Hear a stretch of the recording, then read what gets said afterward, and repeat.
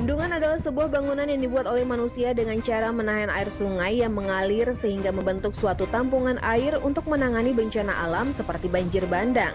Selain itu, bendungan juga dapat dimanfaatkan sebagai pembangkit listrik, kebutuhan air minum masyarakat, dan irigasi pertanian. Pembangunan sebuah bendungan tentu saja membutuhkan waktu dan tenaga kerja yang sangat banyak sesuai dengan kebutuhan bendungan tersebut. Dan berikut ini deretan bendungan terbesar di dunia yang diklaim anti banjir versi Top Files. Negara Zimbabwe tak hanya memiliki danau buatan terbesar, negara ini juga memiliki salah satu bendungan yang diklaim bisa mengatasi banjir.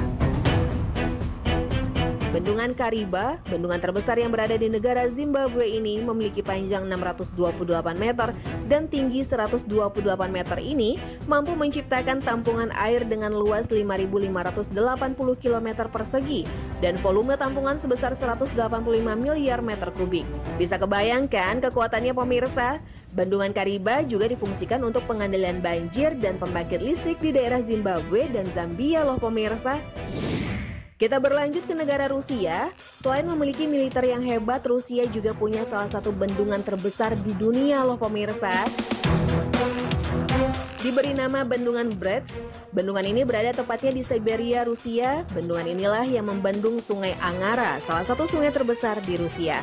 Bendungan yang memiliki panjang 1452 meter dan tinggi 125 meter ini mampu menciptakan tampungan air dengan luas 5.540 km persegi dan volume tampungan sebesar 169,27 miliar meter kubik. Bendungan Brest juga difungsikan sebagai pembangkit listrik tenaga air. Bendungan berikutnya bernama Akosombo. Bendungan ini berada di Ghana, Afrika. Bendungan yang memiliki panjang 700 meter dan tinggi 134 meter ini mampu menciptakan tampungan air seluas 8.500 km persegi dan volume tampungan sebesar 144 miliar meter kubik.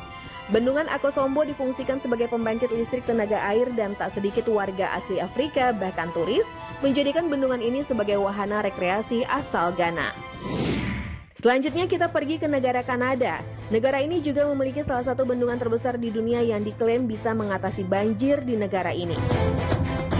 Bangunan yang membendung sungai Mancougan ini memiliki panjang 1310 meter dan tinggi 213 meter ini mampu menciptakan tampungan air dengan volume tampungan sebesar 139,8 miliar meter kubik.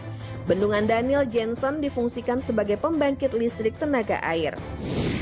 Selanjutnya masih berada di negara Kanada, selain bendungan Daniel Jensen, negara ini juga memiliki bendungan bernama Robert Bourassa. Bangunan yang membendung Sungai La Grande ini berada tepatnya di Quebec, Kanada, Amerika Utara.